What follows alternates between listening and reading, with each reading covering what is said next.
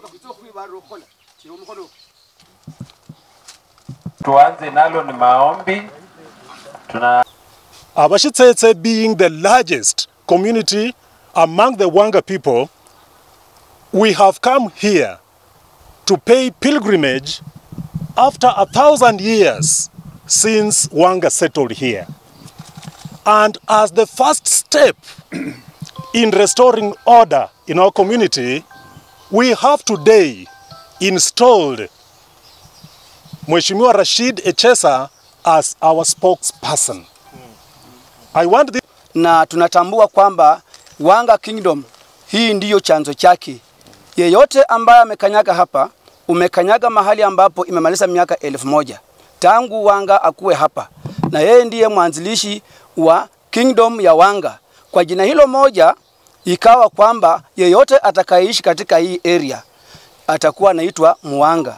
So Muwanga inaitwa kwa, kwa ajili ya ukumbusha wa Wanga, na leo hii ningependa shughuli hii ama tamasha hii isichukuliwe kwamba ni ya kisiasa. Hapana, sisi kama wanajamii ya Wawanga tuna viongozi na bongo wako, alafu tunataka kutokea leo kwenda mbele tuwe na msemaji wa maneno yetu ambayo jamii ya Washitsetse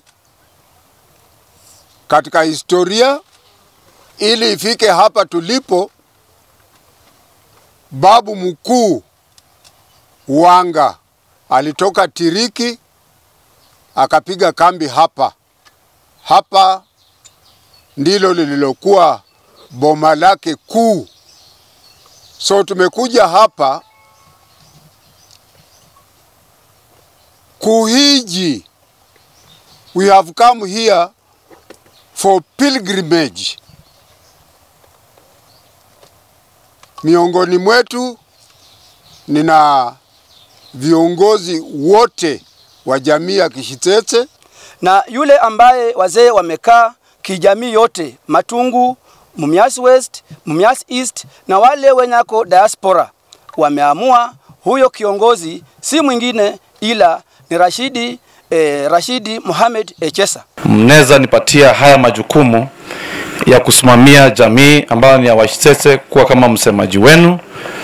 Mimi niko hapa mbele yenu kusema ya kwamba mimi nimekubali wito wenu na hiyo kazi yote mmenipatia kufanya,